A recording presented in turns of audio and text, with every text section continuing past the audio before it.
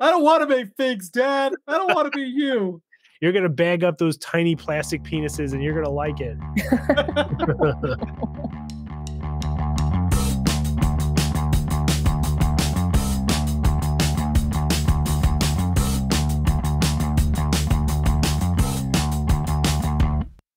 Bring me the next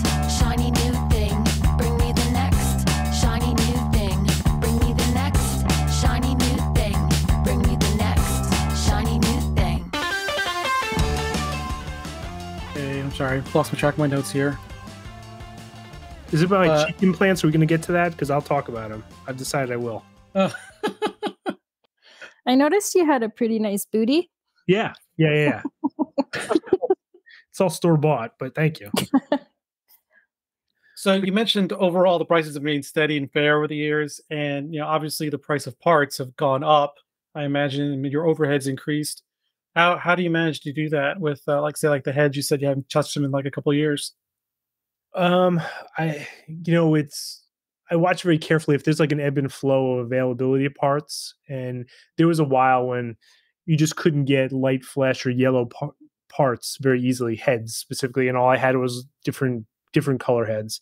And that's when we started doing like luchadors and stuff that like, oh, we're doing a lot of ski masks now. So we try to like it's like a farmer's market, right? Like you cook with whatever ingredients are available or in season at the time a lot of the parts that we're getting are coming from Pick a Brick recently. And it seems to be that if they're just setting the market price that 96 cents torso is going to be what it is, if that's the new normal for the price of a Lego torso. I don't know, man. I, I could see getting to a point where a, a fully printed torso with arm printing is seven bucks and it's just going to be what it has to be, I guess. Hopefully, with that factory being built here in the states, that could help offset some of the costs. Yeah, because I'm going to rob a factory in the states. That's what's going to happen. I'm going to come in through well, I mean, so I had one quite one one interesting question that was brought to me was asking about the pricing methods. For example, the uh, Boner Wonderland, you know, five figs, accessories, card back was ninety bucks. yeah, But the turtles themselves, very minimal, cheap accessories, you know, from Lego, no packaging. They came in a Ziploc bag, hundred bucks, and it's four of them. So was this due to what you said earlier about the dark green uh, minifigs, or No, I just think I'm bad at math.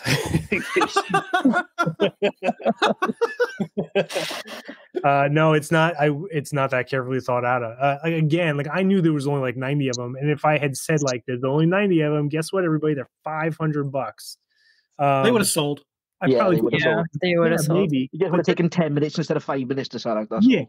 yeah, but that's like that's an easy score for me. But it ends up people being like, "Cool, man, thanks for showing them to me. I can't buy them." You know, I don't want to people walking away feeling like they never had a shot at it. You know, no, I'm not out to juice everybody for the every dollar I could possibly get. But yeah, you make a good point. You caught that. I didn't catch that. I didn't catch it. What you call it? Hammerstein caught that. Uh, so longtime collector. uh, and uh, he, I'll give credits to Hammerstein. He caught that. A little anticlimactic. Yeah, no, no. I mean, yeah, I wish I could say like, oh, there's this huge matrix of prices that I use. I will tell you this. I'll tell anybody just as kind of like a a precursor to any price increase we ever do, which I'm not currently planning on, but seems to be like inevitable just based on that everything else costs more money than it used to. You know, when we do like packaging and foam cutout inserts for figures and tins and stickers on the tins and and wax seals on stuff all that stuff is really pretty expensive not to mention the fact that like i hire people to to help me make them you know? I am definitely uh not buying jet skis off of anybody's citizen brick purchases. You know it's a, it's a pretty we do a lot of this stuff for the love of the sport. There are definitely some products in the catalogs right now that i know we lose money on which is a bad way to run a business but i just kind of want people to be able to get them i don't really feel like exploiting every possible avenue of making money. Sometimes we just like i'll just do it to make it better. Like i just want to make a better figure even if i know it's kind of like making the profit margins really small on something you know? Well, it's interesting you say that about the not wanting to put everything out there that you know will make money because you know, just like as the uh, the big shot, it's a motivator for some to spend money.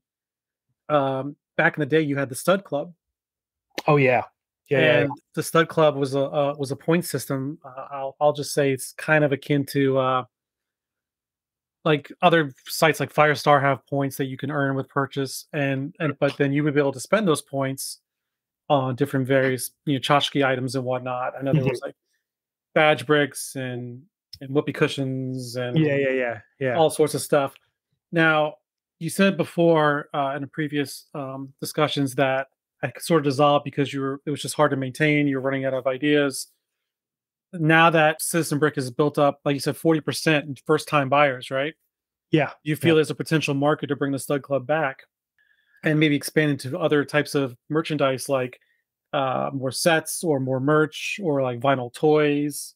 Do you get your uh, Yeah. party enthusiast plushie? So there's a there's a couple of points to that. Like, yeah, Stud Club was just a, we were trying to take a piece of software that was advertised to us, and and we tried to make it do a thing that it wasn't really designed to do, which is, you know, it was kind of designed to be like spend ten dollars and get a dollar off, and we were trying to make it do like spend ten dollars and get a whoopee cushion, and it was really just kind of like not meant to do that. And then the other part of it was just inflation, like a dollar per like you get a point for every dollar you spend. There were some people I owed like thirty thousand dollars worth of stud club stuff to. It was just it, it collapsed like uh like inflation. A lot the, the idea was just like I think it would be funny to make a whoopee cushion or an air freshener. I like making swag like that. It's just it's a fun exercise for me. It's kind of in my wheelhouse and it was going to be just kind of like a vehicle for that. It wasn't very effective as far as driving sales or anything like that. I just thought it would be a good reason to make coffee mugs and stuff, but it, it became kind of really cumbersome. And we decided that besides paying like a fortune to run that software, we could just do and we'll do like, hey, this weekend only any order gets an air freshener, that kind of stuff. So now we just make the stuff and we'll just give it away straight up rather than all the accounting that came along with the points and, you know, My kids have gotten to like, and my wife has gotten to like my CB coffee mug, and I'm terrified one of them's going to break it because there's not going to be a way to replace it. Yeah, they stopped making that particular kind of mug. Whoever made that mug for the promotions industry stopped making them. So I think we're done making them too because I really liked the shape of that mug. They're a little bit of a collector's item now. So does that make sense? Like we're Yeah, no, absolutely. I'm gonna make swag like that, and it's fun to give it away, and and then we'll just straight up give it away instead of like make you tally up points for it. That's a little goofy. Does that, does that include t-shirts? Because my size is not on the website. I've been trying to get a t-shirt forever. Ugh, t-shirts besides being 100% of my wardrobe is citizen brick t-shirts it's like a weird kind of steve jobs but in reverse you know like oh he only wears the same thing every day but mine's born out of just like ocd laziness i wear i'm wearing it right now. T-shirts are a pain in the butt uh, because they're we we run out of one size or another very quickly and lego fans tend to skew in crazier sizes. We we always have some some version or another left in in, in huge amounts so we should always have t-shirts because i always need new t-shirts yeah they're, they're just one more thing to make Will your will your new uh, screen printing machine be able to facilitate that? no uh it's a different kind of ink i, I we're never going to print our own t-shirts because i think that that is a big retooling operation and i don't really know how to screen print uh t-shirts zach, Zach, does. does. yeah But say I- that's a big opportunity for Zach, that would have been, wouldn't it? Yeah. I think I don't know if he would want to do it. I think it's really tough work, and I think he's happier. He loves working there. I can tell you right yeah, now. I do mention As long as he's got his yogurt and beans, he's happy. you mentioned that screen printing press that we made posters on, and that is really. I have this nightmare where I'm, it's going to be like when you go see a band and they're like, "Oh, we're going to play only stuff off the new album now," and you're like, "Oh no."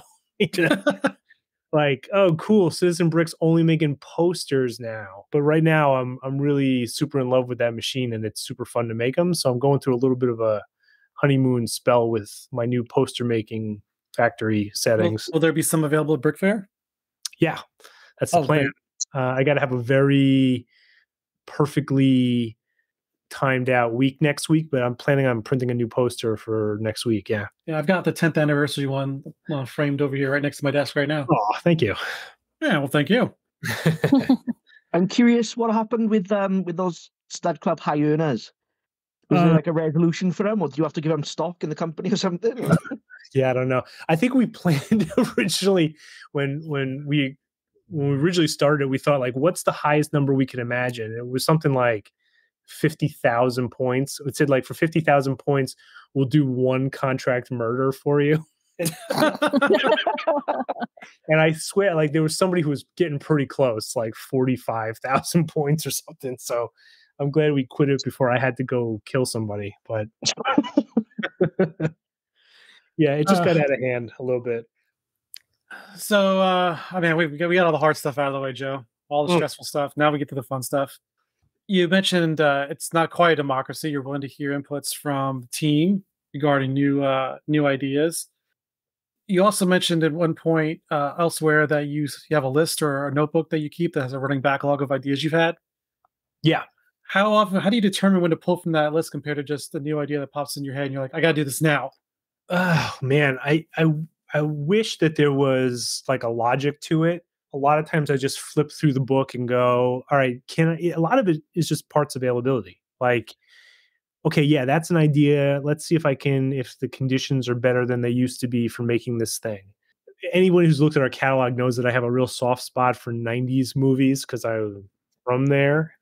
I I, one of the ideas I was kicking around is doing kind of like a, a March Madness bracket and have everybody vote on what the next thing we should do. Oh, we were going to bring it up bring that up actually, doing a Oh, community really? poll. Yeah.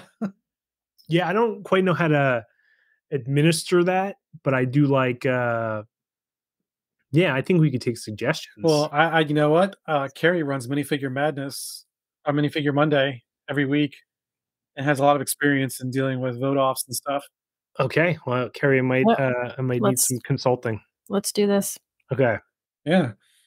So let me take that. Let me get a list of 32 90s obscure 90s movies that only I like, and we'll, we'll see which one wins. Does it, so I have to ask this when I, when I when I specifically ask questions from the from the listeners about what to ask the guest. I specifically say, don't ask me questions like, "Are you going to make this?" Hmm. Because I, I want to do, I rather do more nuanced questions that explain more about the person, humanize the brand, get an idea of the process. Mhm. But I, I have to imagine, and I have to know, do you you must get more suggestions than anybody else I can think of? How annoying does it get? Uh, no, I. I, I mean, I'm, annoying- I'm sure you enjoy them, but at the same time, you've got that backlog in your in your, in your back pocket.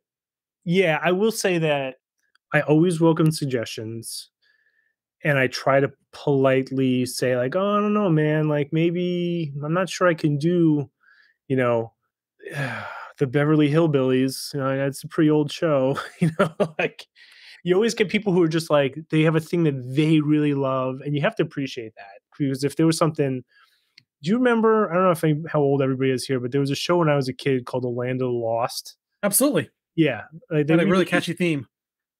yeah. Then do you remember the? Let's quiz you now. Um, do you remember? The, do you remember the lizard guys in it? Do you remember what they were called? I don't know what they're called. No. Oh, the Sleestak. When I was a kid, I was so sure that I was going to grow up and be a Sleestak. I just that's what I wanted to be. they got like a crossbow, and that just seemed like a good job. You know, Like, I think I had a, I think I had a toy of that.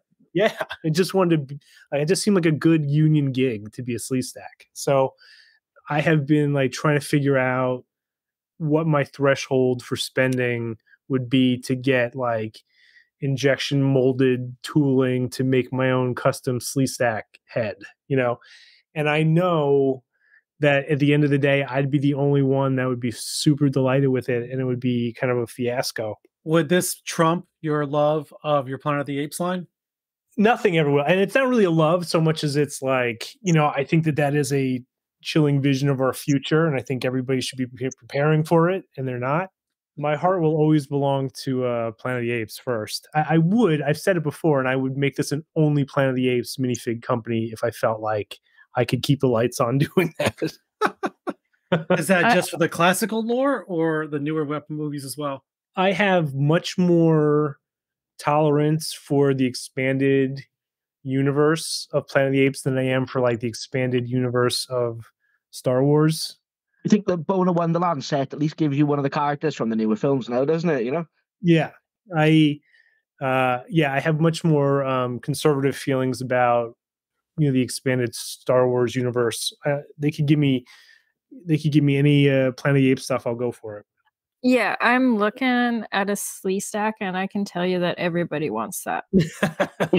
Like I guarantee you. I'm gonna look this up because it's been a while. And I don't think uh, uh, we're at the point now where CB can release almost anything, and I think it would be a pretty good Oh, seller. I remember that I think bug-eyed got fucker. that- got to that stage, you know. Maybe, but like as soon as I start believing that, like, oh, we could do anything we want. We have carte blanche to do whatever. That's where it all falls I apart. hate, I hate that. You know what I remember about Land of Lost? I hated that caveman kid. Oh yeah, he was the worst. Yeah, The I hated that wor- guy. Yeah, he was the worst. That's why I want to be a Sleestak.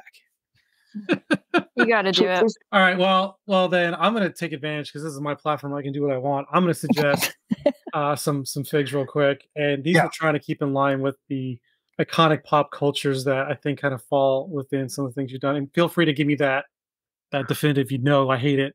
you like to give your employees. I'm I'm curious why you haven't done Blues Brothers yet. Let me I, do you want me to shoot him down like in real time? I could tell list. you. Sure, why. sure. Okay. That's be fun. You could do Blues like a, Brothers. s- a smash or pass. It's only like five of them. I would say that um, uh, those hats are not to my liking. There's not the, the Lego fedora doesn't doesn't serve all purposes, and I don't think that I think it needs a different hat. You know, it's funny how parts availability is becoming a running theme almost every question we ask today. Yeah.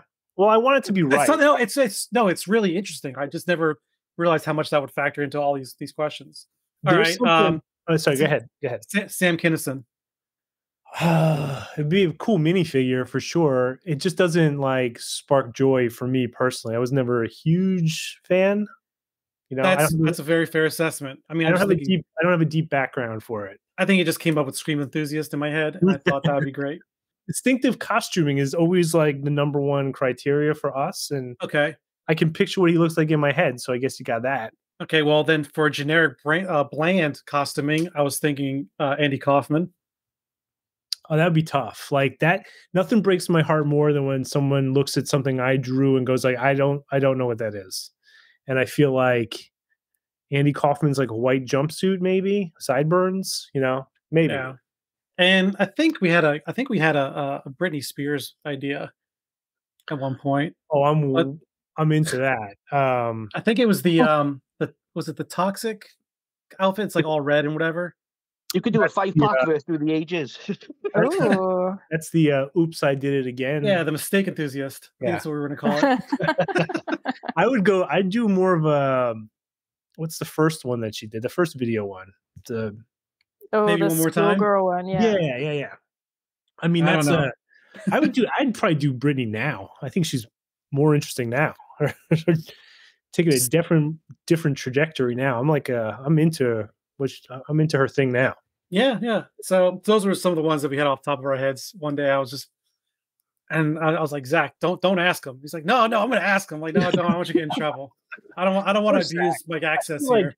I feel like Zach is. He's terrified of you. Yeah, he should be. Um, but I feel like he's like the first guy we've ever had who's like deeper into custom Lego than I am.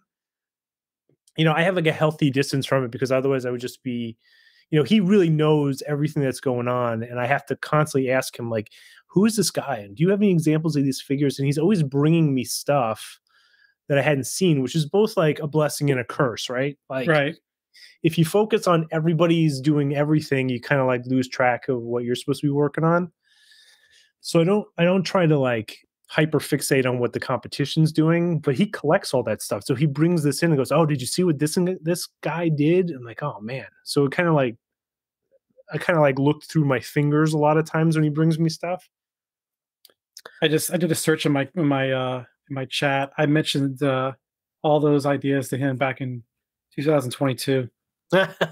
So he's he's doing good about not not crossing that line. I never want to put him in a bad situation. No, no, no. He knows. He just gets to judge my facial reaction. I'm like, oh yeah, it's a cool idea, man. I guess yeah. Let me start drawing Andy Kaufman. well, you know, one thing that he mentioned to me, which I thought was kind of interesting, was that apparently he said a lot of the team is not into this stuff. They're just there to print. Mhm. That's Yeah, I would say that. fascinating.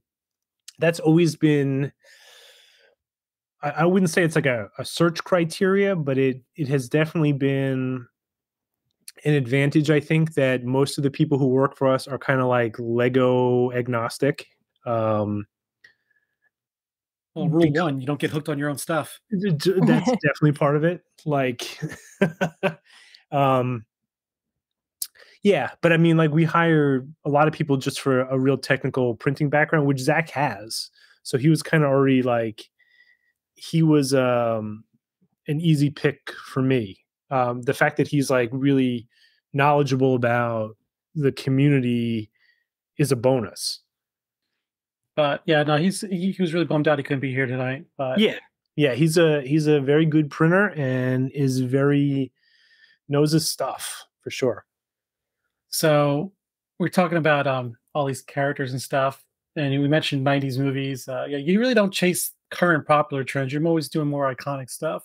uh because they kind of like a lot of them don't have the shelf life right That that was my next Yeah. question. Was that do you Yeah. worry about the longevity of the character based on pop culture? uh you know it, it's ultimately the the the the rule that wins is like if i like it you know which is cool it's a great amount of freedom i kind of like live and die by my own hand with that like the the last show that i really got super into was season one of true detective on hbo Mm-hmm. where I was like, oh my God, I can't stop watching this show. And man, wouldn't it be awesome if I could make these into Lego minifigures? And I know I could do it, but like it didn't, it was like one season of one show and it's now like seven or eight years ago. So it's like, it's tough to do stuff in real time, you know, and the longer you go, like when people go, what is this? You know, that happens to me a lot where people go like i don't remember this and hopefully i can draw it well enough that they do i don't think we've done too many things that would really miss the bullseye i don't know maybe you guys feel differently no, no, it's a valid point. And uh, my question that, that was actually going to wonder, like, what is, what kind of lead time do you need? Like, if if you pulled an idea and you said, "We're doing this, the parts are available, I'm going to start designing tonight," what's the usual lead time between conception to execution? i would say more and more things are including a custom molded element which is great. It really um, adds an extra edge i think to what we can do. And making those sometimes adds weeks and weeks and weeks of development to it. Um, but if it was something just like an idea that is just straight printing and the parts are around the shop i would say like from idea to on press could be as little as a week. More often than that we're working kind of like 90 days ahead of schedule. Like i'm working on stuff now that i expect to have on press in 90 days. One one thing that's iconic about Citizen Brick that no one's really replicated yet are the big heads and the tall heads. right. Somewhat, one brand has tried to replicate the big heads, but they they are widely perceived as inferior product, both in structure and look and feel. What where did those where, where was the idea from that spur from? oh, i wish it was more cerebral of an answer but it was really just like they made me laugh i thought they were funny really funny and it's fun it's interesting because this is because we made those at the beginning of the pandemic so for a while they were kind of like on the website and the real test of it is when i bring them on the road and go to conventions and and civilians non-lego people see them. And this is the first year where i'm really kind of like field testing them and kids love them like the public days of conventions people really get a kick out of those molded parts. So i, I it would be crazy not to. I think we're immediately developing another batch of those different ones because they're hilarious and they really solve a part scarcity problem for us like to Oh, be able to make our own things to print on in an infinite supply is definitely like the safe harbor i'd like to be in we don't have to worry about anything with that And it, you could differentiate yourself from Lego brand as well, which I suppose is an extra bonus, isn't it? Less uh, yeah less risk from from them, perhaps. at, at at the risk of saying like, all right, we're gonna play something off the new album now. Like, I really would like to. Well, I would say this: like the space that we do, that we're getting into more and more, that we're drifting towards, is uh, I don't want to say getting away from Lego because they always will have some kind of Lego DNA. That's what Citizen Brick is. But I like pushing things that are becoming like a few generations different away from just the conventional minifigure part, if that makes sense. It's interesting to us to try and expand like what we can do. I've always said that like working within the limitations of what the shape of the minifigure and the the print process. I always like working in those parameters but injection molding is kind of like expanded a lot of what we can do we can kind of like imagine things that you know we couldn't do before and still have it feel and fit with a lego so that's pretty interesting to us So Joe's sitting at the dinner table, turns to his wife and says, "Honey, bongs. You're gonna make bongs." I, I think i was doing it before i even told her i was doing it I, do, I, I, I like that idea though. It's like a eureka moment. You literally sat there eating dinner quietly. You just get up suddenly, bongs. That's the answer. You know? I hear an had started bong. introduce, introducing myself as the midwest's largest toy bong manufacturer and i think that that's true It's true. Yeah. I'm gonna skip over one question real quick, uh, but because you mentioned about steering away from Lego. Uh, in the past, you mentioned that you were able to seamlessly. You like the idea of your of your figures seamlessly fitting into a a, a purist collection. You know, kind of seamlessly. Yeah. Like say, like the S and M figs, right? They they got that same simple, basic Lego feel, even though they're a design that Lego would never do. Right. But over the years, your designs have got a bit more complex with more intricate details. And I specifically think of things like um, Right. the legs, the, you know, the way the pants are printed. Now, is this because you're steering away from your original mantra, or is it because you're increased familiarity with the technology and what you can push it to do? I'm just curious Uh, about. for that one, I, I consider that to be Hang on, let me think of a better way to phrase this question. no. I know what you're saying. I think I think we're better printers than we were 13 years ago. I think when I started and I wasn't as familiar with um AFOLs, I was kind of coming at it from my frame of reference, which is a very kind of 80s Lego aesthetic aesthetic. Excuse me. So I was drawing them the way that I kind of remembered them in 1986 you know and i quickly realized like oh no, no like legos have a highlight they have a highlight in the eyeball now they don't have the kind of simple you know so they got kind of uh, they evolved more complex pretty quickly and i would say that like lego figures today the ones that come out of the factory are are pretty detailed too they definitely i, I think it's kind of like everything in the lego and custom lego universe kind of bleeds into each other I think that Lego watches what the custom community is doing and vice versa. So, I mean, like I said before, like I don't think we can get away without making back printing anymore. And I don't think, I think if we do shoes, they now have to be all the way around. You know, um, I'm still not doing like under the arm printing as a regular feature until I see Lego doing it. I still think that there's some lines I'm going to hold. Oh, side printing. I think, uh, man, I, I think some people just like, well, if we can't do better, we'll just do more. Now I'm going to start talking trash, uh, and I don't feel like that's an that's an imperative for us. I don't think it makes it better in many cases. Sometimes it becomes an exercise in just like I want to see if I could do it well. Um, like our tattoo figure was completely, you know, 360. Do you have a copy of my script? Because that's uh, that's coming up next. Oh, really? Yeah. Yeah, I think for everything I say, declarative, sentence wise, you could find a, a, a some something to Yeah. contrast it where I did the well. I mean, if you take like like say heavy metal enthusiast, right? One of the earlier figs. Uh, Yeah. But then you'd look at like milkshake enthusiast with the oil print all over them. Yeah. Or body enthusiast, uh, the girl with the tie dye. That's what I'm referring to when I say, you know, how much your design has progressed. A little bit like it's like next level Lego now almost. oh, I like that. I'm going to put that on. Like, can I that be like the, the pull quote for the book? Absolutely. Brett says we're next level Lego. next level Um, Lego and the Midwestern lead of classic Yeah. bomb. I think, um, you know, I, I do see what what people are Well, I mean, first of all, I want people to feel like they're getting their money's worth, you know, and sometimes I, I feel like we have to keep up with people's expectations. I mean, I would have preferred not to print on the back of the legs all the time.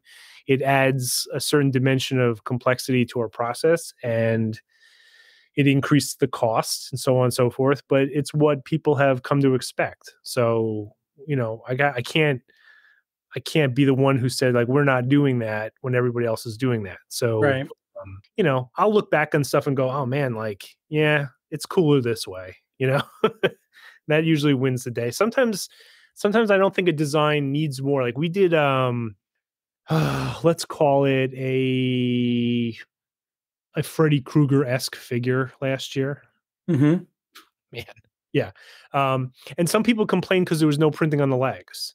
And I just looked at it and said, I think it's done. I think we've certainly delivered a lot of value in this figure. We custom molded, you know, what was really a moonshot of a accessory piece for the hand. Um, I felt like I think that was pretty good. Like the fedora. yeah, we used the fedora and I don't think that um I don't think it needed any more than it got. I think splashing ink on every surface just to say you did it, I don't think is necessary. You know? But there are there are occasions where it is merited, and like you mentioned, your tattoo enthusiast. That was that had, how many that had like seven colors, I think. I think so. Yeah. It was something crazy. And Yeah. would, would you say that's your like most challenging fig to produce, like in terms of like registration? Yeah, I think so. Um, although I think we've got some other stuff now that's going to rival it.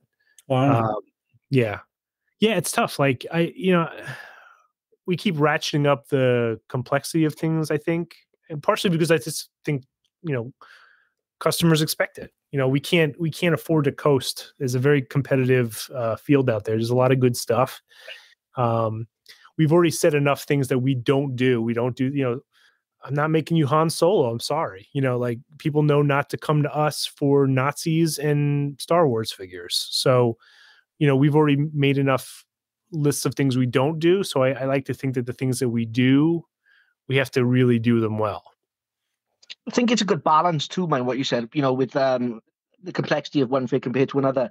You know, for the most part, a lot of the figs exactly serve the purpose that they have. But then you have a piece every so often that you'll bring out, like the tattoo enthusiast or like the, the current Visible Man now, uh, where you can almost say it's like your magnum opus. It's like it's the culmination of everything. You know. Yeah, yeah. I, I'm I, I'm happy that people would see it that way because that that's how I feel about it. Sometimes, yeah, sometimes you just want to like go over the top, and it's those are the kind of things like they're just they're they're not great on paper. They cost way more money than we make on them for sure. But sometimes I just want to, you know, flex a little muscle and see if I can outdraw what I think I can do. You know. Yeah, and, and they do. They really stand out as well, even amongst the you know the the CB range. Yeah, I like to think so. You know, this is a little bit of an aside, and I don't know if anybody has ever been would ever step up and be the governing body of it, but when's custom Lego going to come up with its own kind of Academy Awards? Like that would be that Invisible Man would be my nominee for this year. I think. We've got a guy in our community named Ed who does it for superhero stuff. Perhaps we can get him uh, get him on the Yeah. CB train. a lot of a lot of a lot of us in the yeah a lot of the collectors uh, sket does it i do it a lot a lot of collectors will do their top 10 figs uh, of the year and i think i think for some of us that have kind of grown to a certain level within the community people come to us looking to see what we like um, i encourage do- everyone to have their own taste and like How what does, like, like, they like Doesn't Rolling Stone magazine used to do like they'd take like 10 editors and 10 people would give their top 10. So there's like a lot of range of opinions. Like I, I I've seen people do like here's the here's the minifigure of the year, and eight of them will be clone troopers, you know. So you can tell you could tell where people's kind of like favorites are located. Well, you know, you Um, should you should do, Joe. I mean, you've Hmm. got your you've got your close circle of folks that you trust with, you know, like Hall of Famer evaluation stuff. Lean on them and and let them help formulate something like that, or at least provide combinations.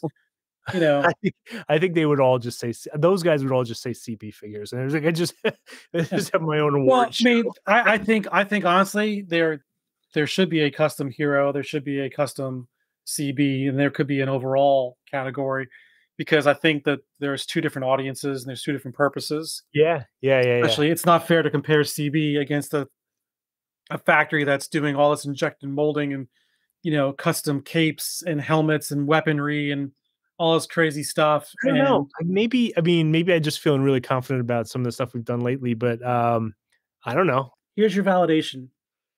I was a superhero only guy. Phil was a superhero only person.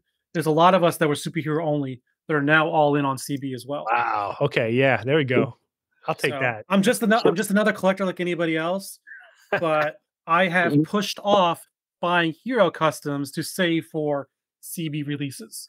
Okay. I So can't we'll be blaming you when we're bankrupt and homeless, basically, Joe. Yes.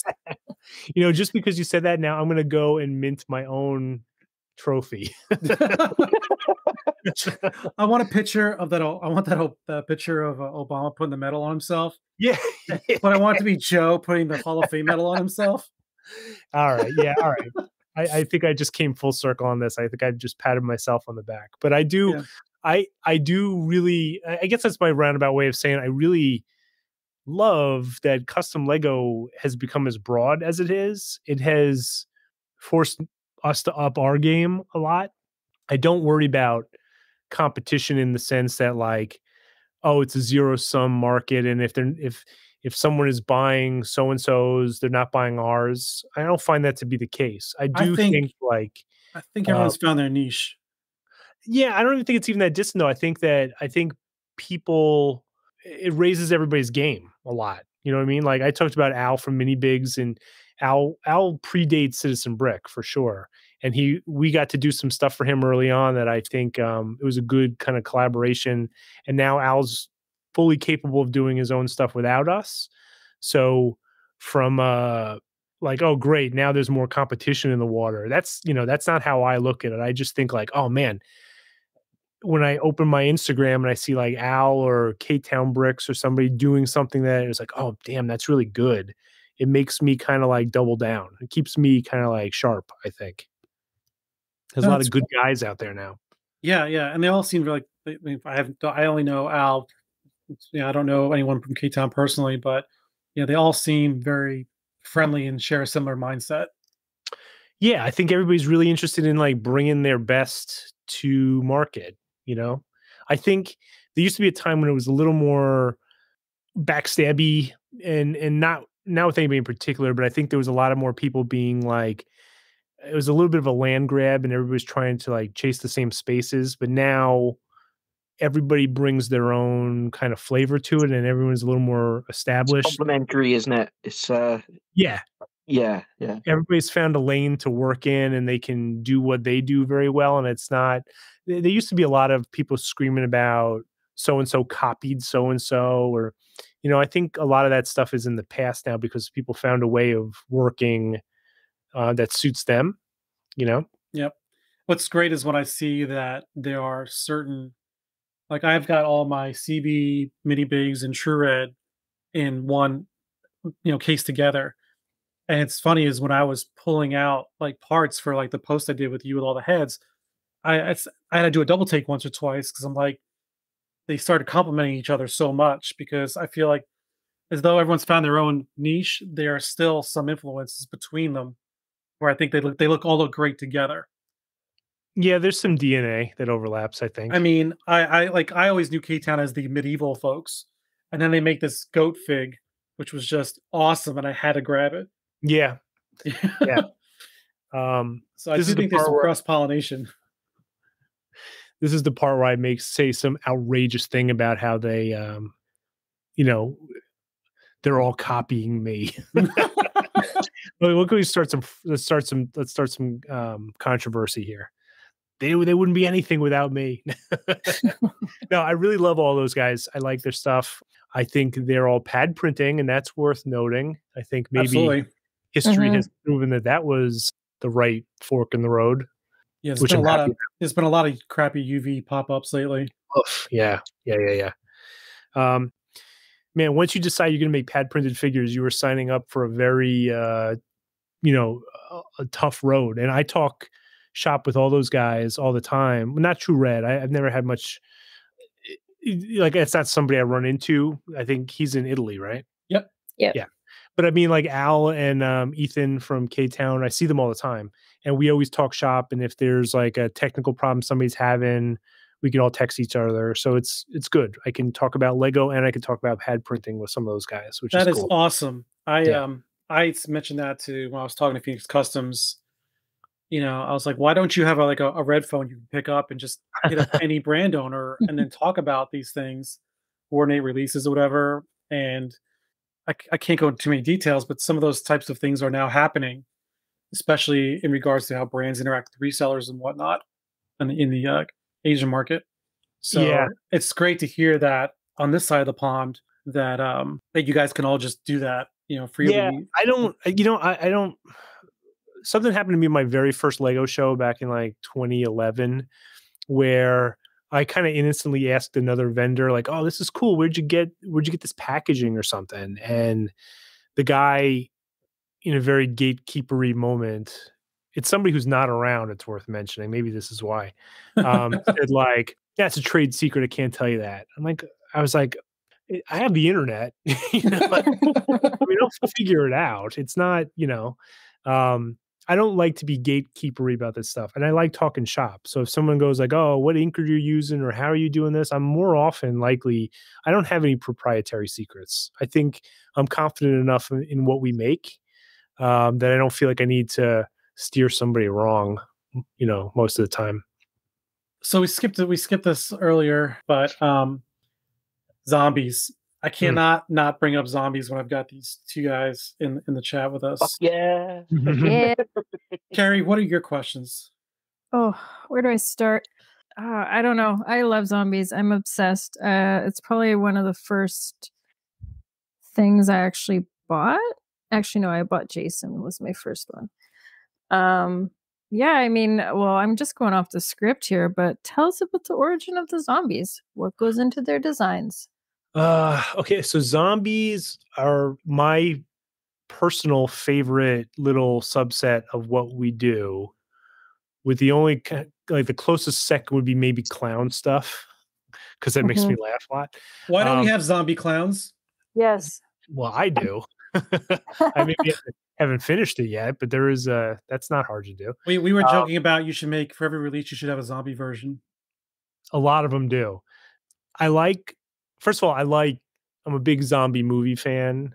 And when I started doing this back in 2010, I had drawn an initial batch of things that I thought would be like good starter ideas. Like, oh my God, why is there not a Lego zombie? And as soon as I like made the plates for it, is when the first collectible minifigure line came out from Lego and they had Lego zombie in it and that was my first taste of like oh man i'm gonna have to like get faster at this so i could say and it would be true that i came up with a lego zombie before lego did but nobody cares because i didn't get it to market fast enough. So it's like it's kind of a hollow victory that doesn't mean anything but i i was like all right well it's cool we're thinking along the same lines.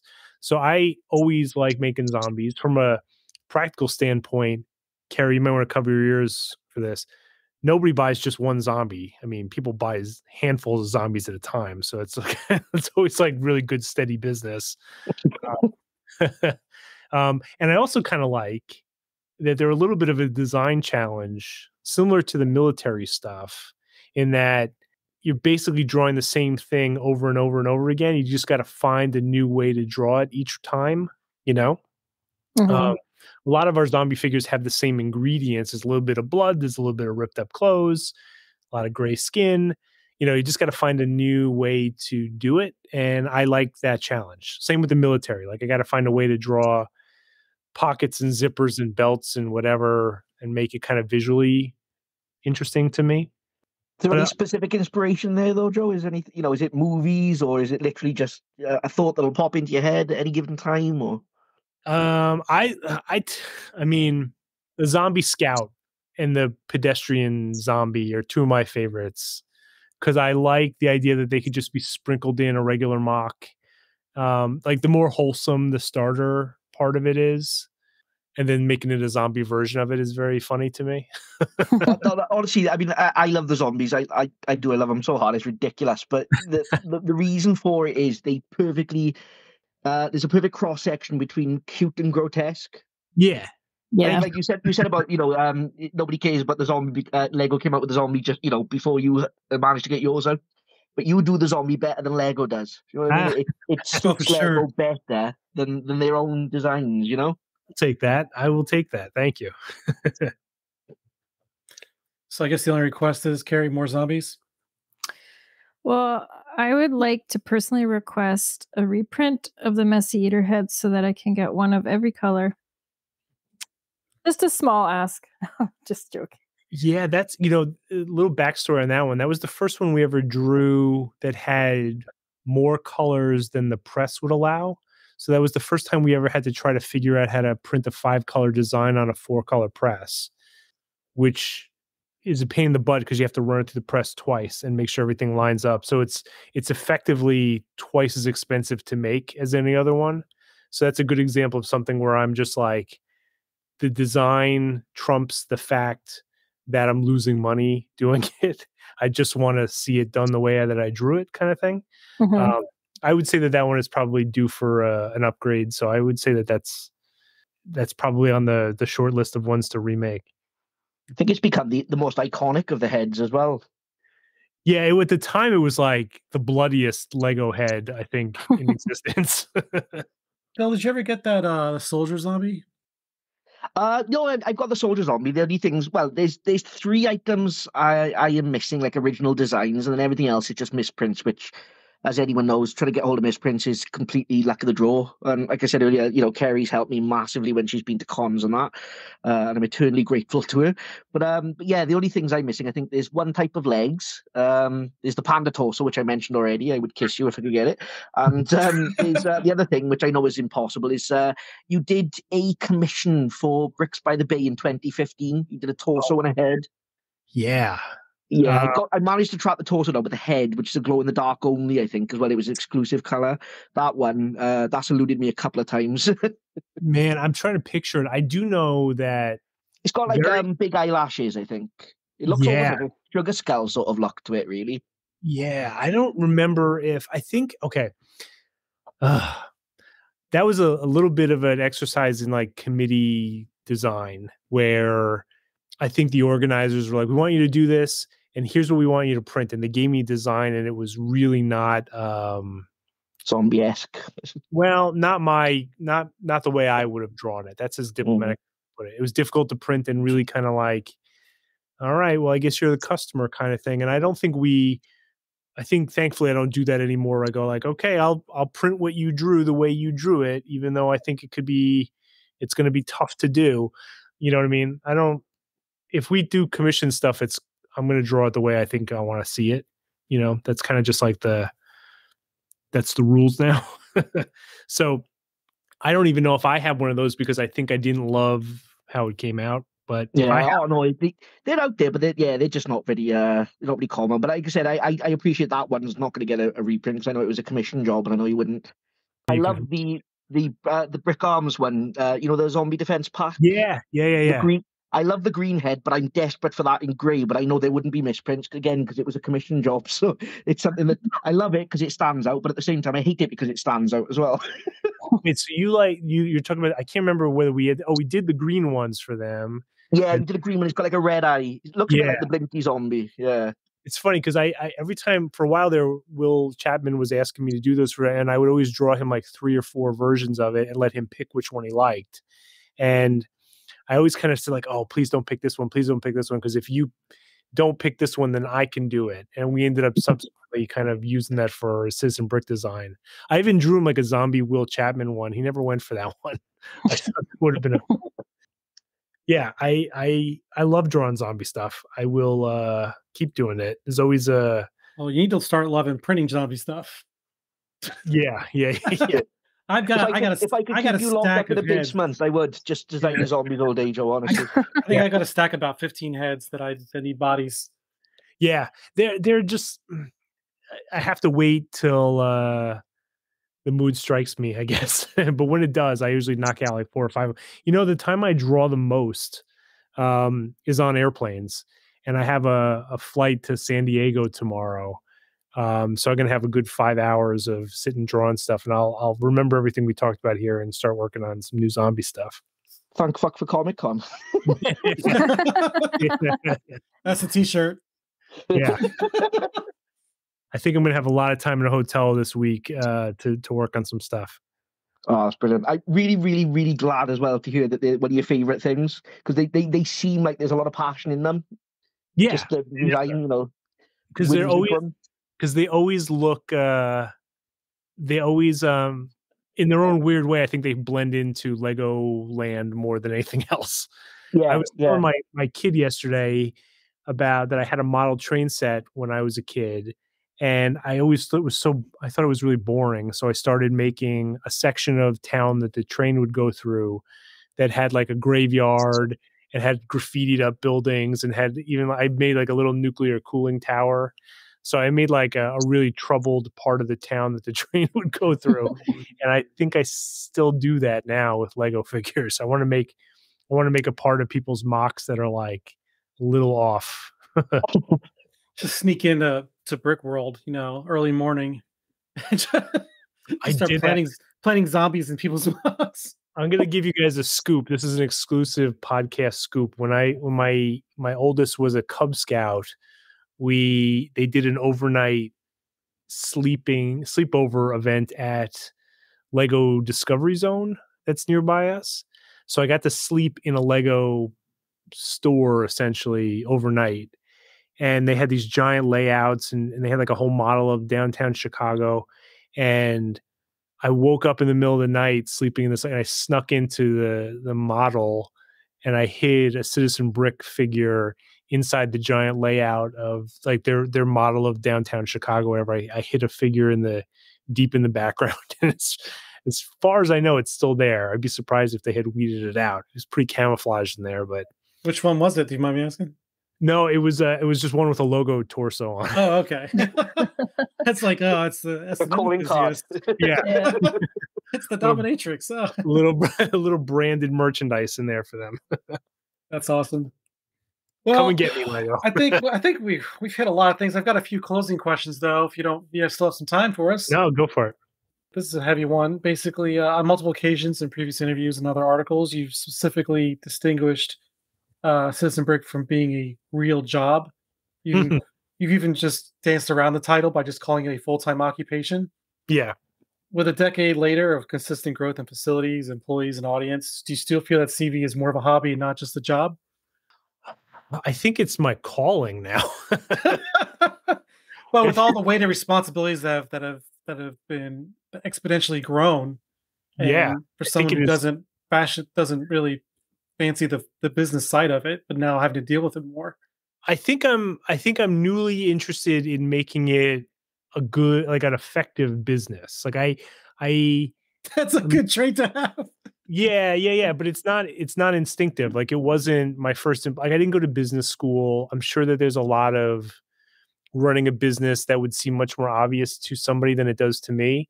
Um and and I, I'm interested in in in running it better so that people have a better time shopping and a, an easier time shopping and getting like all the logistics of getting their stuff from me to you better is something I'm kind of newly invigorated about. Like our website's always been kind of less than I want it to be, so I'm kind of circling back around and trying to be more on point about stuff like that. Yeah, look, I'm not. I just don't want to do anything else. This is all I can do. Oh, I, I I know that feeling. Like if I didn't figure out what I was doing in college, I really had no other backup plan. Yeah, yeah, So go looking back, you know, Brick World Chicago, 2011, first convention. You managed to get a table, which is probably no easy feat these days.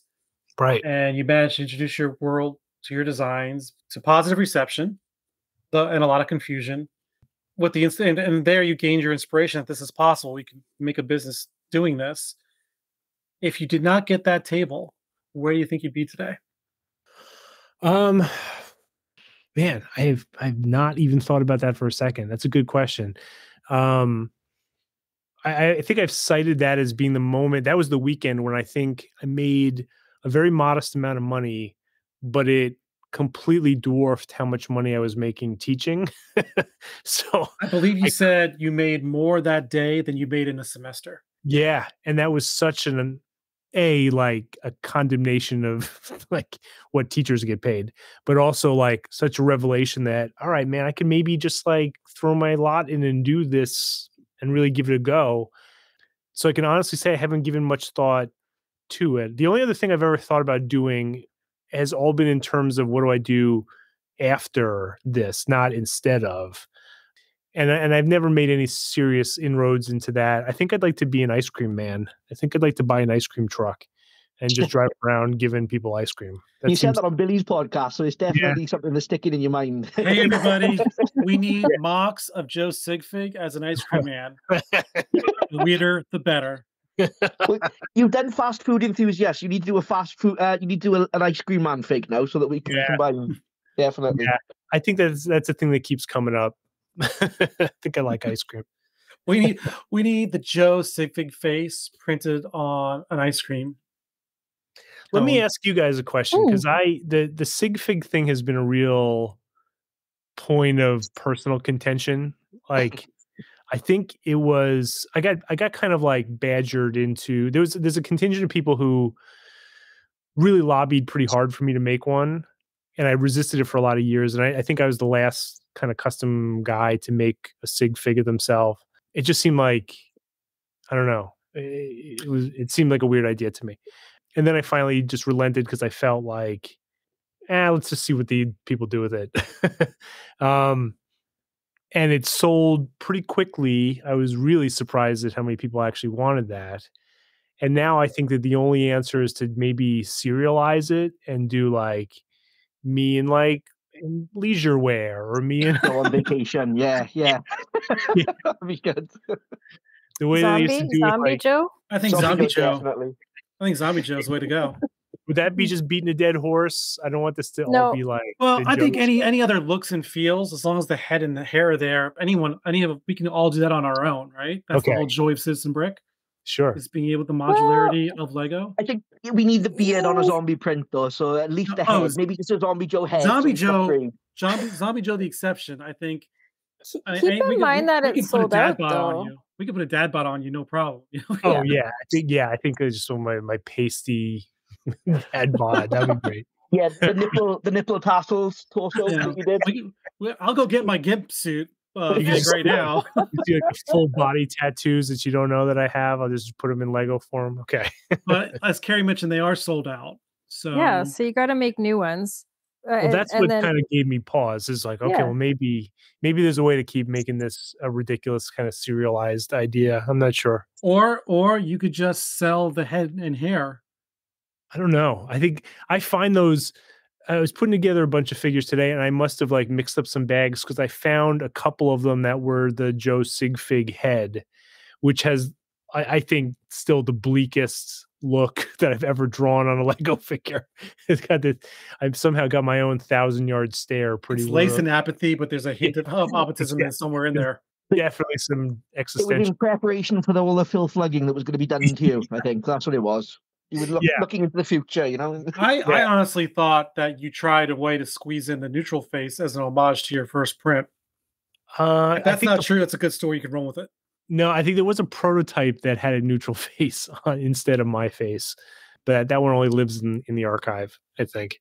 I mean, you kind of you know, you've got that, like you said, that thousand yard stare. Yeah. No, I think maybe I'll do like a, a- it's like a series of self portraits. I'll do like a, a one with was my if my beard keeps getting grayer. I'll make a grayer figure. If you can do a salt and pepper beard, that'd be awesome because Yeah. I don't, you know, there's no family figure out there that has that kind of face for me. Yeah, I, I- I'll work on Um, that. You've um you've said though you're not you, you know you weren't so sure about your sig fig, but uh you're definitely underestimating yourself there because it's it's a similar thing to the superhero scene with Marvel. Everyone wanted a Stan Lee fig because you want that figurehead. Yeah, So it's the Yeah. exact same thing. I mean, I'm I'm not even a Sigfig kind of guy, but I had to have a Joe Sigfig. The only point of contention I had was I think you missed a trick with the name, and I've I commented this on the post, but I, I wanted it to be called the Joe Valord.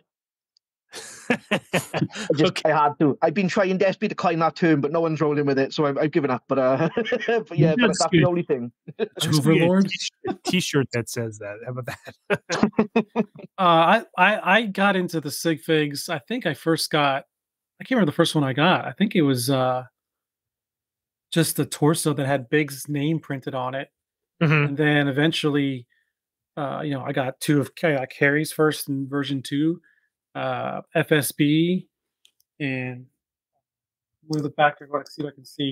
Of course, I got Sketch Sig Fig, Parker, you know, Yeah. his two iterations, and uh, I just I started to really enjoy them. So I think it's I think it's cool. You know, if freaking YouTubers can get like pop figures made of them, why can't you know minifigure brand owners get Sure. figs made of them?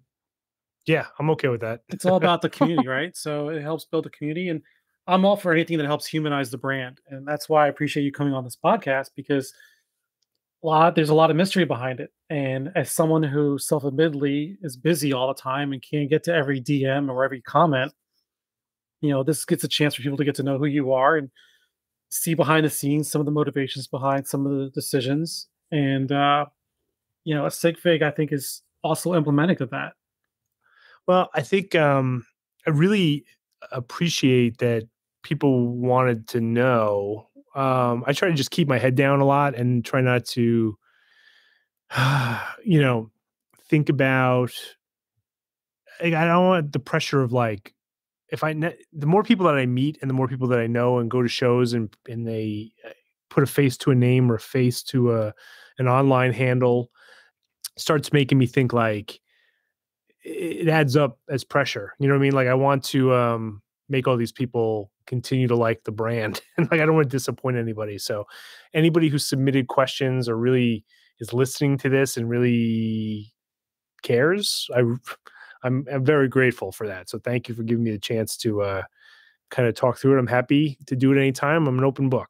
Any questions are welcome. the the feeling is is um reciprocated because as as someone who tries to build a community within you know the different brands and the companies you start getting on that more familiar level you want to start supporting those brand owners you Hmm. know i Yeah. got i got off i got done interviewing Jaka Brick and i was like shit i need to buy that flash fig because i want to support them i don't even like the movie you know And so it, it's it's hard to not build this parasocial relationship where you're just trying to you want to throw your money i'm like you're going to sell figs regardless whether i do it or not but i want to throw my hat in the ring whenever i can but i also have to set you know standards for myself and rules to keep sure that i don't overextend myself in, in my spending habits Sure. No, and I really appreciate that there are podcasts like this one where people want to talk about. That's what's kind of, you know, that's the mortar between the bricks, I think, as far as the community goes, is mm-hmm. they're having like kind of centralized places where we can all kind of, you know, I, I listen to all the other episodes and I learned as much as anybody else who's outside of making of things. You know, it's just it's great to have a a forum like this. So thank you. yeah so do you uh, i got a quick question do you do you miss teaching Uh, yeah, uh, not in as much that I'd ever like to go back to it. It's a tough way to make a living. I certainly liked being the smartest person in the room and listening to myself talk. That was always cool. but um, I just liked what I was teaching. I liked teaching print making, and I like technical printing. That's kind of my my world. Yeah, I mean, it's a tough way to make a living for sure, but uh, I don't think I'll be going back to it anytime soon.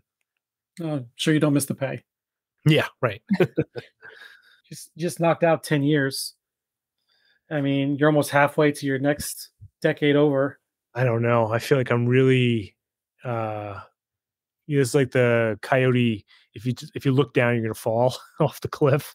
Um, no, I don't know. I, I I'd like to just keep doing this for a while. Um as long as people support the business, I don't see stopping. I'm certainly not losing any interest in it. There's we're just now getting to things that I have wanted to do for a decade. Um so I, I still feel like there's a good we haven't run out of ideas yet. So I feel an, an urgency to kind of get them out there quicker than I did before. I, I'm conscious of the fact that uh, I have a list, and I, I'm not going to real. I, I want to get them all done before I die. so we're rushing now. I think I asked Zach this once, or I asked Nick when you guys went to uh, the headquarters for the visit. Um, you guys have like, do you do have like a catalog, right? Everything you've ever made, like a, a wall or a memorial, Yeah. or something. We have a, a, a display case that has almost every one figure that we've ever made. That's awesome. Did you ever think about posting that online in some sort of like an Instagram archive of some sort so people Yeah, can see what's been I made? have. In fact, we've we finally we're in the middle of archiving it in in the sense that I'm taking one kind of definitive photo of everything.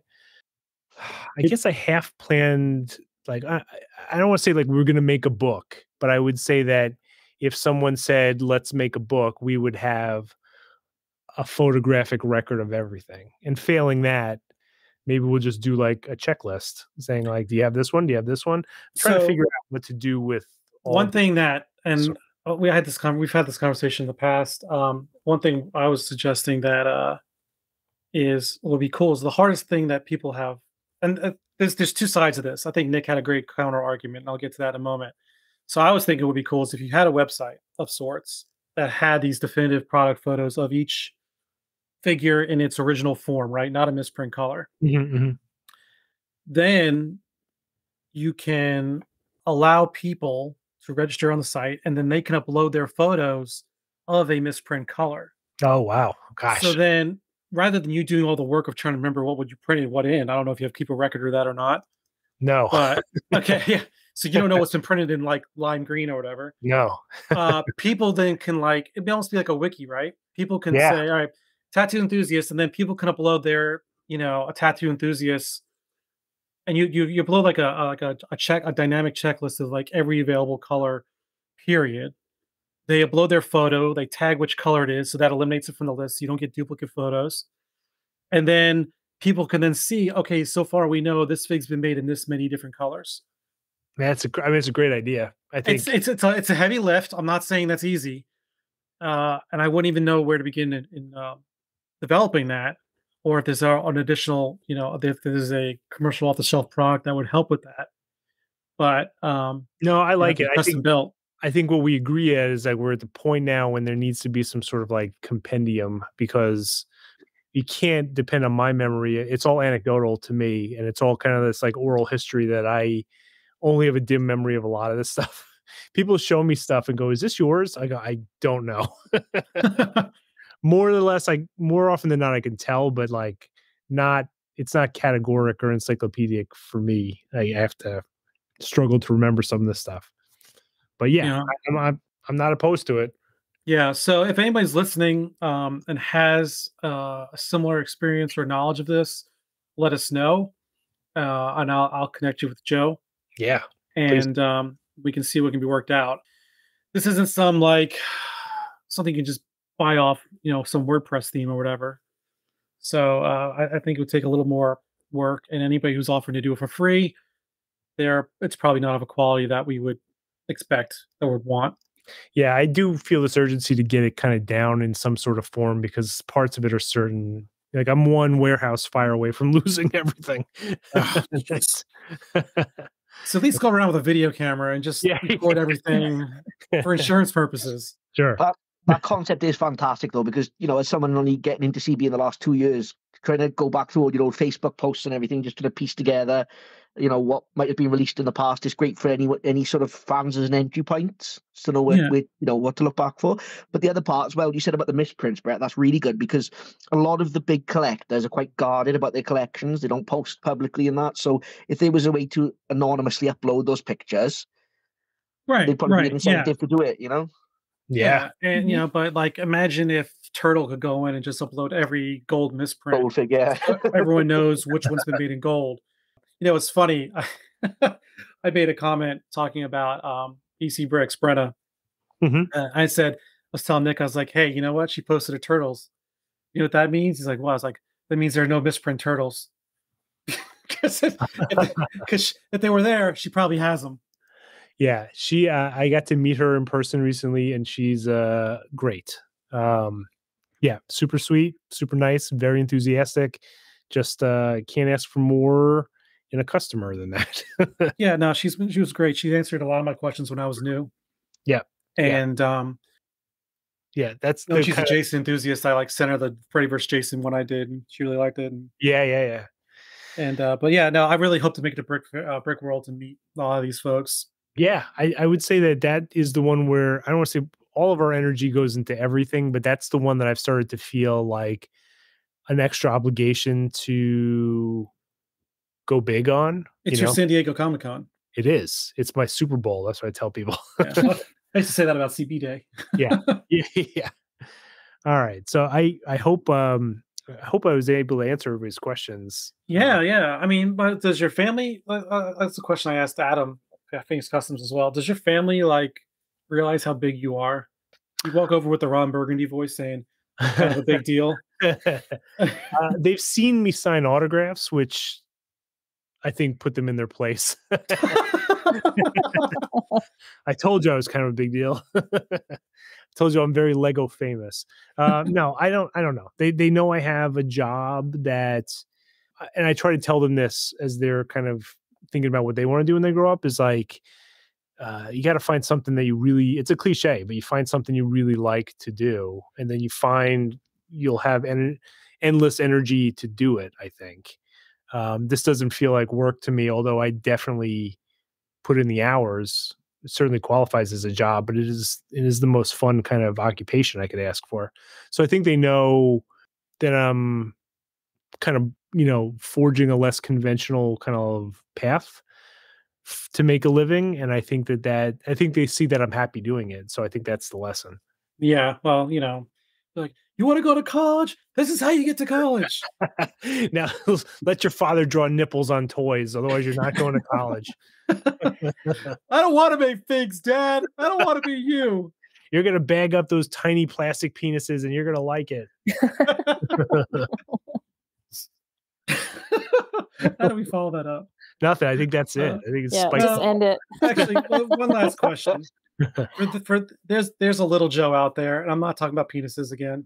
There's a little Joe out there somewhere that is one day hopefully trying to do something that you to replicate your success. What would you what advice would you give to someone trying to learn pad printing and just learning this business? you know someone someone asked me that a, a younger guy asked me that very question in texas and I, i've been troubled by the answer that i gave because i think it it was born out of just the exhaustion of the day.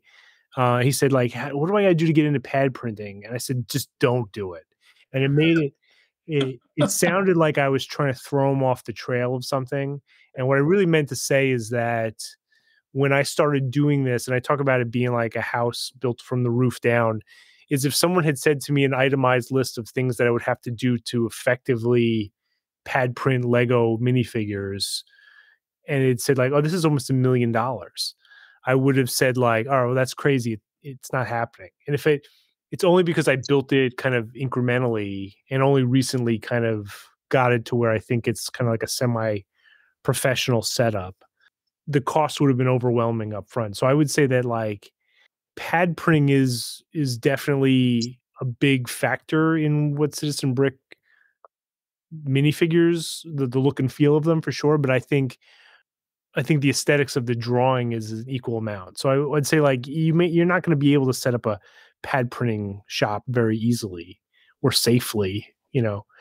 But you could draw stuff and, and maybe just draw. Maybe that's almost more important is drawing good designs in a tiny little three quarter inch space is more important. Like you can pad print stuff, but you could pad be pad printing terrible designs, you know? Hmm. Yeah. So I don't know. I would say um go be an ice cream man. um, Phil, Kerry, did you have any uh, parting thoughts or questions? Uh, okay, Beetlejuice. When? Uh, you know what? Legos already got that one. Ugh. It's, that's Pretty you good as know, well, the one in all fairness, isn't it? yeah. I, I, uh, it's a little touchier doing anything that they've already done. Um, Mm, That's all. They All did a pretty good one. That's a pretty good figure. yeah. I uh, I'm breaking my just- rule a little bit here with a fangirly request, um, but I, I feel like I'm doing a disservice to myself if I don't ask. Um, are you a fan of What We Do in the Shadows? Have you ever watched it? Uh, I was just I just binged like a whole half a season tonight. Actually, Right, I'm, oh, assu- the I'm assuming season? you enjoyed haven't it. watched it not the new one. I, I'm still catching up on the last season, but I, Oh, I it gets so good. yeah, it's The first, such the a good first three show. seasons out of this world, it's sort of dropped off a little bit, but it's still great, even you know, even now. But I just we, we we talked about this last year in our group chat, and it's kind of perfect because there are five figure, uh, there are five characters. They all look quite unique. They've all got interesting costumes. I'm just wondering if there's ever a possibility of a of a five pack by any chance. I'd be so know, down for that. it's got all the criteria in that it's a thing that I personally am really fond of. Like a lot of the best things, the things that I'm most excited about making are things that I I have a real fandom for, and that's definitely one of them. So I would say, let's do this. Maybe somebody, not me, because I'm terrible at communication, but if you guys get the list of 32 of your top ideas, we'll we'll we'll do a March Madness bracket and we'll see which one. I can do. All All right. The only reason I suggested this one is because it kind of goes right against the the whole shelf life thing. It's one of those shows that's like become an instant cult classic. So I It think it's going to stand the test of time. And it was received really well in our group chat. Everyone was like, "Yeah, that that would be awesome," you know. And I think it would just be really well received. I think it's a it's a strong maybe because it's definitely one that I would like to figure out how to do. Yeah. Yeah. Okay, so action items are anybody listening that knows of a platform that can describe what I'm talking about regarding the website archival uh, database that allows people to upload photos. Kerry can help with the March Madness. We can help both figure out how to solicit questions. And I don't know, Joe, do you have any other parting thoughts? I don't anybody wants to do my taxes, that would be cool too. My You know, wife's really good more- at those. No, no problem. taxes Send for them figs. over.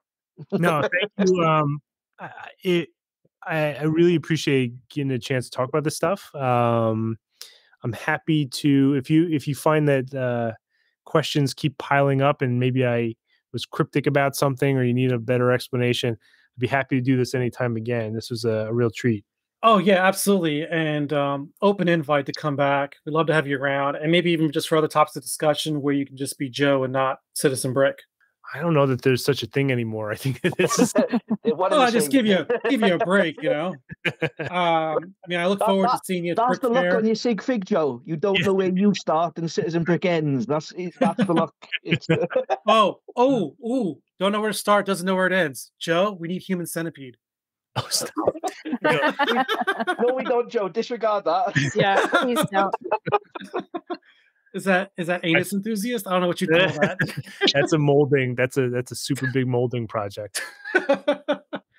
but um all right well thanks again for thanks again for tuning in um for those listening you can find citizen brick, brick products at citizenbrick.com if you're heading to brick fair virginia that's in august be sure to swing by the table and spend all your money uh just be sure to tell them about the podcast sent you so you know it looks good for me and in the show notes i'll have a link to everyone's instagram page as well as to uh, billy's bricks and banter podcast where you can catch joe's interview with billy so be sure to head over there for a listen and check out his other episodes. They're really great.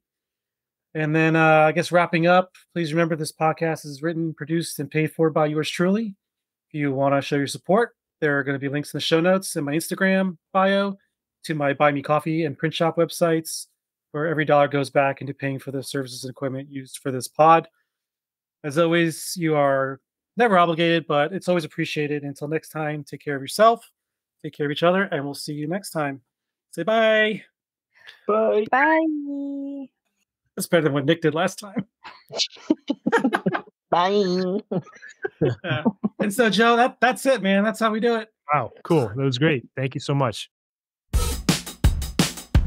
Hey, everyone. Uh, just wanted to say quick thanks for everyone who has stuck with me through the 12 episodes now of this podcast. And more importantly, through these last three episodes, talking with Joe from Citizen Brick, it really was something that we expected to be maybe a 45 minute to an hour chat. And I was not expecting uh, upwards to four episodes worth of content. So thanks for sticking with me. Thank you, everyone, for your great questions. Joe was an amazing guest. Pretty positive we'll have him on again in the future. And um, until next time, see you soon. Take care. Bye. I want you on my rack. I want to make you ring. I want you to unwrap. I want to pull your string. Bring me the next